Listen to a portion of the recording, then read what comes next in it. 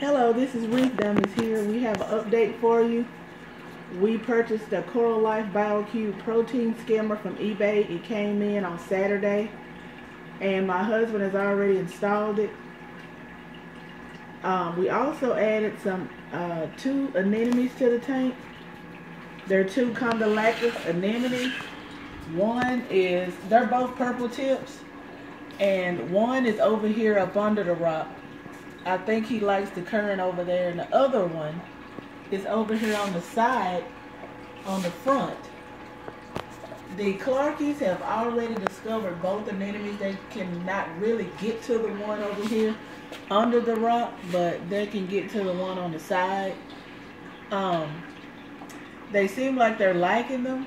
We also added some crabs to the tank. We have some uh, a green leg, a red leg, and I think uh, one hermit crab.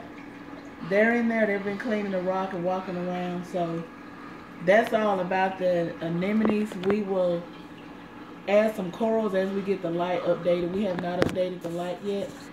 So I'm going to let my husband talk about the protein skimmer. Okay. The protein skimmer, with like my wife said early before, we I have already installed it and I purchased this for like 30 bucks on eBay and so I gave it a try. Uh, it's hard to find most stuff for the BioCube so on in regular stores. So I went to eBay and I found the protein skimmer and it was only 30 bucks so why not. So it was an easy install. I'm going to show you that real quick. Easy install. So it sits right there. It's been skimming since Saturday or two days ago. And I'm, still tweaking on the um, the skim on the skimming because right now when I order it off of eBay they did not send me the correct check valve or the um, the um, valve to uh, turn it up and down so I used one of my own that I had from a previous um, protein skimmer. But right now, I think I'm real close to the, uh, in, uh, real close to tweaking it in.